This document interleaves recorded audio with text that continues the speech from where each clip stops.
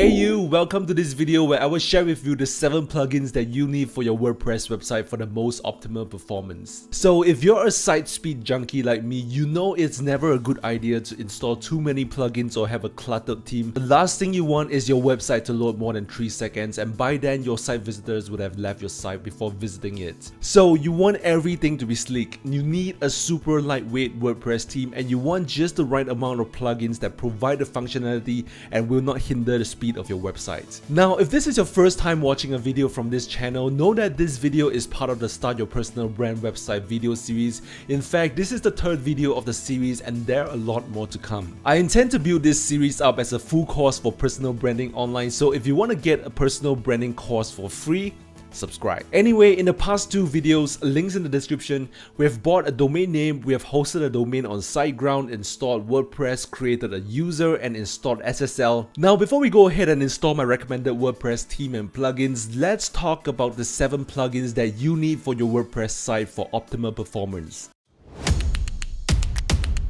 Let's start with security first. I recommend installing Akismet because it will help you detect and filter spam comments and the best thing is it is free. Now just think about it, if your site is new, you won't receive many spams, you'll have the time to filter spam comments and manage legitimate ones. But as your site grows, your business grows, you have tons of things to do.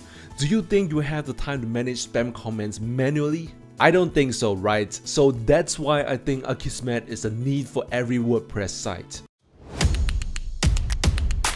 Now the second plugin I recommend is Yoast, the free version. And what it is is basically a search engine optimization tool. Like for example if you're gonna write a piece of content on your website and you want it to rank on Google you probably need to write a bunch of mumbo jumbo codes to let Google know that your content exists and what your content is about. But if you don't know how to write the codes then you need Yoast. It's basically a plugin that allows your website to communicate with Google and at the same time they have simplified everything and made it human friendly. So I would say that Yoast is an essential tool for every WordPress blog. I've tried many SEO plugins like All-in-One SEO Pack and RankMath but I think Yoast is still the best. That's my opinion. The third plugin I recommend is Pretty Links. This is one plugin that I use across all of my websites because it is a handy tool for managing your links.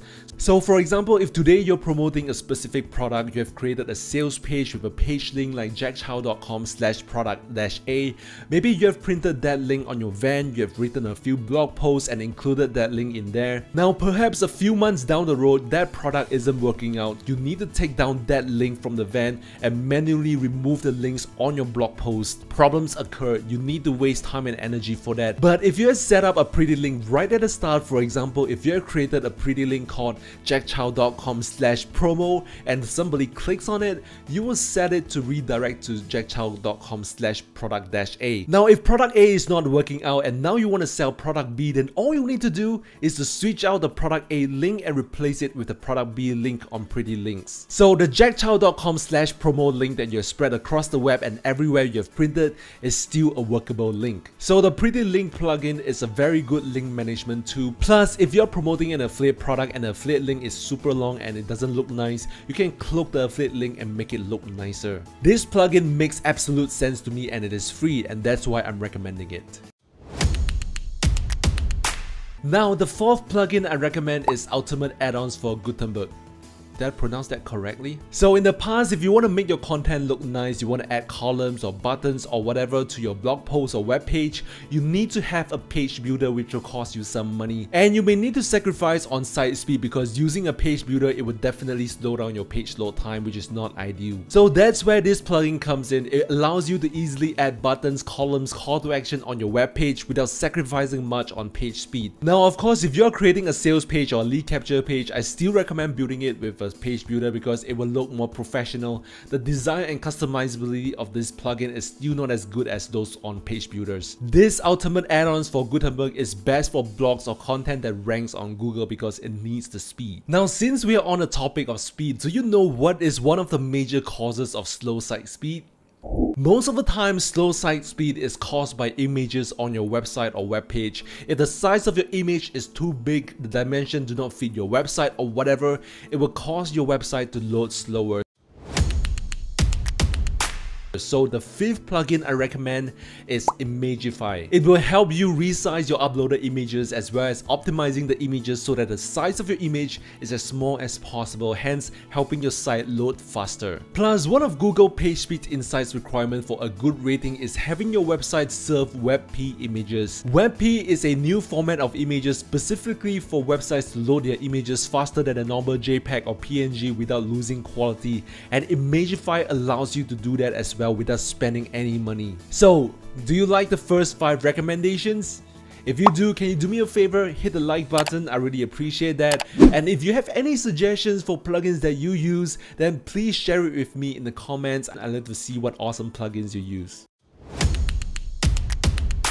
Now to my sixth recommendation, if you have an awesome content on your website that is share worthy, you may want to have share buttons floating on the side or in line with your content. The thing is, any social sharing plugins you use will definitely cause your site speed to slow down, it's inevitable. But the thing is, you want to minimize the impact. So I've used many social plugins before like Social Warfare, Social Snap, but the one I think is the most lightweight is Grow by Mediavine. It used to be called Social Pug. Now with the free version, you will have floating share buttons as well as inline share buttons which are social buttons in your content. But if you want mobile share buttons like this, then you will need to upgrade. It costs $34 per year for the upgrade, but that's totally up to you. Personally, I feel the free version is good enough. I don't need the sticky mobile share buttons. If your content is good enough, the user will scroll and find your inline share buttons or they will copy the URL and share it. Having such mobile sticky buttons will only cause slower load time though it's a nice feature to have.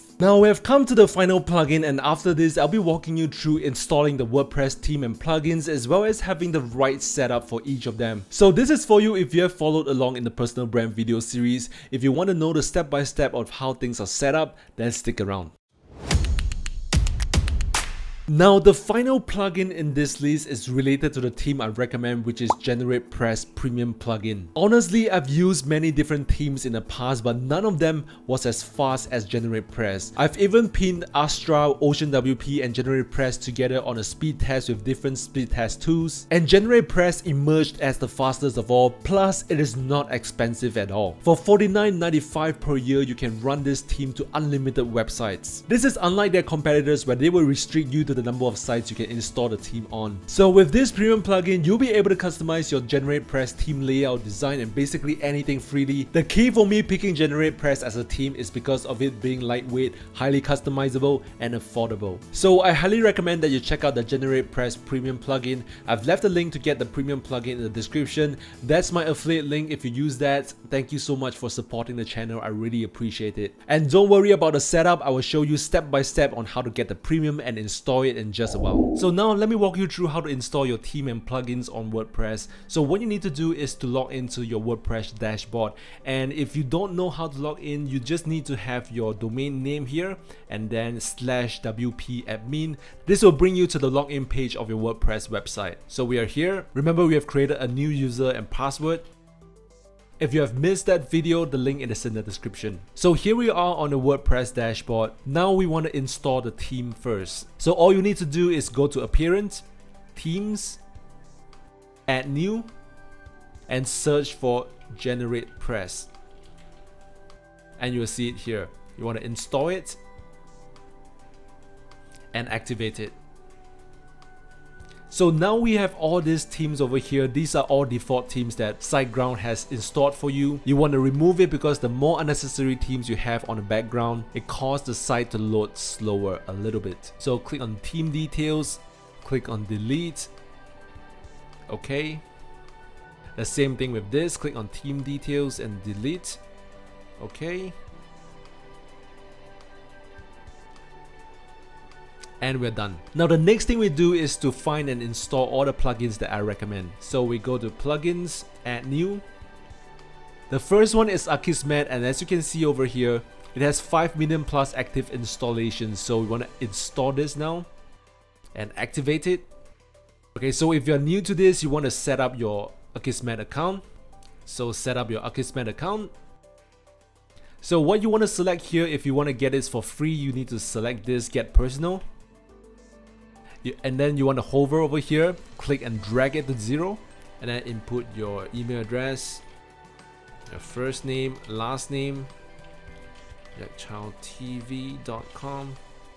And then you need to check all this. I don't have ads on my site. I don't sell products. I don't promote business. And then continue. And then you need to go to your email address. They'll be sending you a code which you need to paste it here for confirmation. So this is the code I have. Click on continue. Now you need to go back to your WordPress dashboard. And then we're on this page which is settings and under Akismet anti-spam. We want to enter a manual key. So they'll be sending you the manual key to your email address and you'll see something like this copy this key and paste it here and connect with API key and there you have it. You don't need to adjust the settings. So now let's install Yoast. Let's go to plugins and new. Over here search for Yoast. And you'll see it right here Yoast SEO there are 5 million plus active installations. So install now. Activate it. And we're done. Now let's go to the settings. Now that's the premium version but honestly the free one is good enough. So let's check out the features. Nothing to change here. Integrations, nothing to change here as well. Webmaster Tools, this is a topic for another video. I will show you how to get your Google verification code as well as the Bing verification code so that you can link the Google Search Console as well as the Bing Webmaster Tool to your website. So let's continue search appearance. Now this title separator is basically what you can see on the Google search results. So for example, we are on Google, let's search for how to build a personal brand and the title separator is basically this over here. Dash Forbes, dash, we have this line over here, this line over here.